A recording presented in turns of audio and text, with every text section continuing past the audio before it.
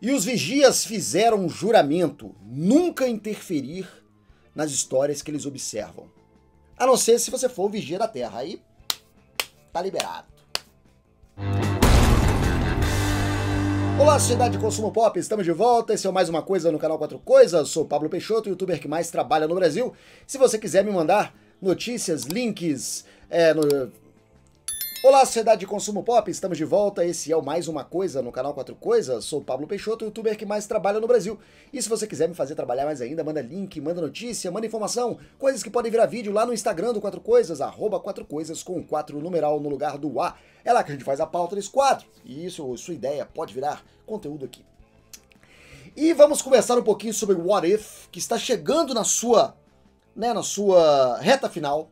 E o criador da série de animação, Ace Bradley, ele deu uma entrevista falando um pouco sobre o Vigia, que o Vigia pode voltar, inclusive interferindo mais nos rumos do universo Marvel, que o Vigia pode ter ainda um papel extra, mais um papel em produções futuras na Marvel Studios. Esse Vigia, que se você olhar, foi o único personagem novo para o CM que realmente foi apresentado na série animada.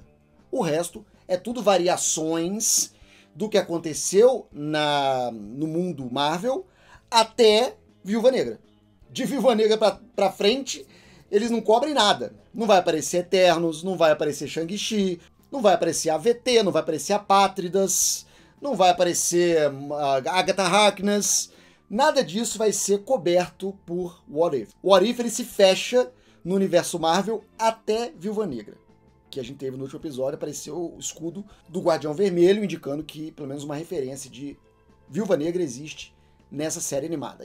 Mas voltando ao Vigia, ele apareceu rapidamente em Guardiões da Galáxia 2, numa aparição do Stan Lee, numa uma piadinha lá do Stan Lee, contando suas histórias pros Vigias.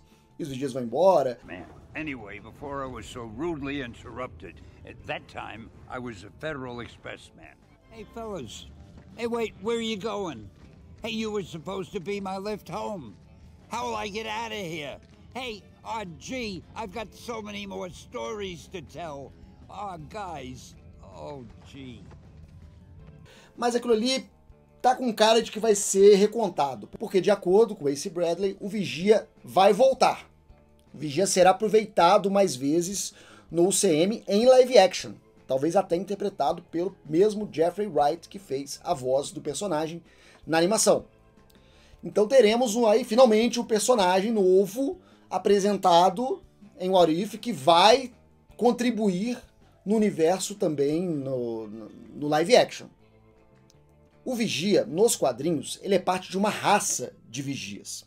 Existem vários vigias que era uma raça super poderosa alienígena que resolveu usar sua sabedoria e seu poder para ajudar outras outros planetas, outras civilizações que ainda não tinham atingido o seu estágio de punjança.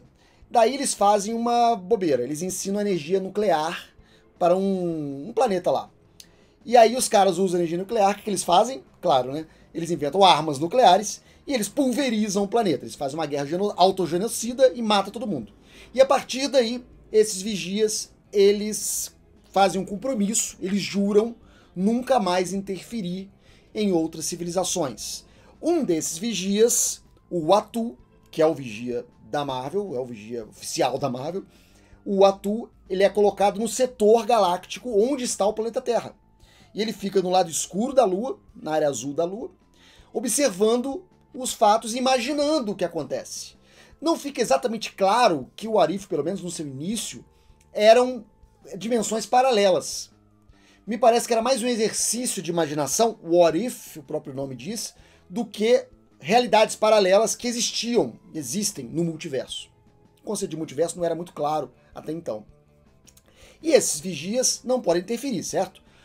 No caso, o Atu, ele se é, humaniza de tanto ver nossas histórias. E se humanizando, o Atu começa a agir como ser humano, ou seja, ele exercita a compaixão e a compaixão do Atu faz ele, às vezes, interferir. Por exemplo, quando o Galactus quer destruir a Terra, ele interfere. Ele mostra o nulificador total pro Senhor Fantástico. E com o Nulificador Total, ele consegue expulsar o Galactus da Terra. No What If, me parece que o Vigia é um pouquinho diferente. Ao que dá para entender, existe apenas um Vigia olhando por todo o multiverso. Ele é uma criatura única que vigia tudo. Então, esse conceito de que existem vários vigias, que cada um está no setor galáctico e tal, não me parece ser o caso. Eu acho que eles vão manter só um personagem, só um vigia, e esse vai observar o multiverso.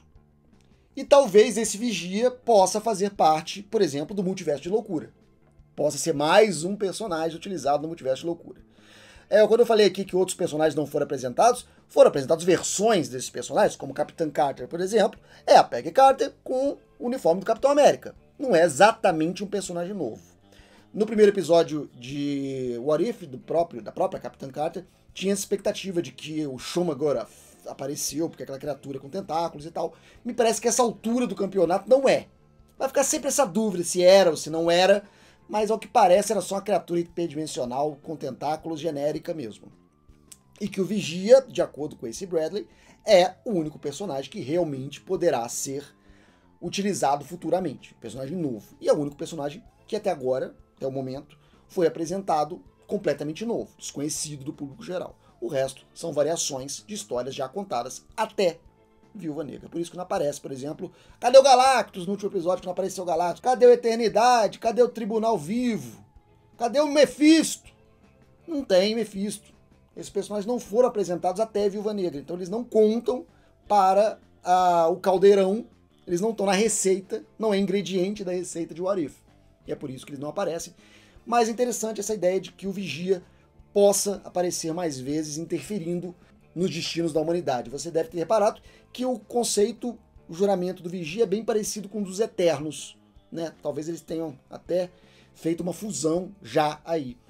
Os eternos também não podem interferir, a não ser que tenha um deviante no meio. Se não tiver deviante, não interfere. Ah, o Tron pegou as joias do infinito, está destruindo todos os multiversos. Bom, os Eternos não interferem porque o Tron não é um deviante. É assim que funciona, pelo menos.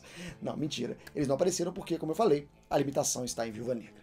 Então é isso que eu queria conversar com vocês sobre O Vigia e as expectativas da participação desse personagem mais vezes no CM.